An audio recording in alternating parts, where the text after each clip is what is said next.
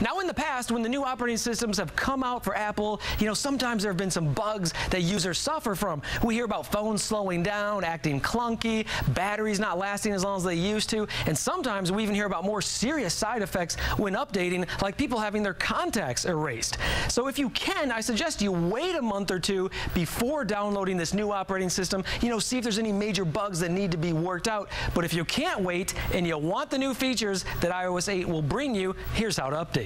Go into Settings, then select the General tab, then Software Update. It takes about an hour depending on your signal strength. There are hundreds of changes iOS 8 adds to your iDevice, some subtle, some very noticeable. Like this, now if you double tap the home button, at the top of your screen is the contacts you contact the most. If you touch a name, then choices pop up to call them, text them, or email them. After you download iOS 8, you will notice this new app with a heart on your home screen. That's Apple's new Health app. It acts as a dashboard to intake, organize, and display all your fitness and health data. Siri is now integrated with Shazam, an app that recognizes music and other media playing around it. Siri, what song is playing? You're listening to At Last by Etta James. This is my favorite new feature. It really beefs up text messaging. In iOS 8, when you send a text message, instead of typing, you can hold down this mic button and send an audio message. Hey, how you doing? I'm sending you an audio text message. Or on the other side of the typing box, you could press this video camera button and send a video text.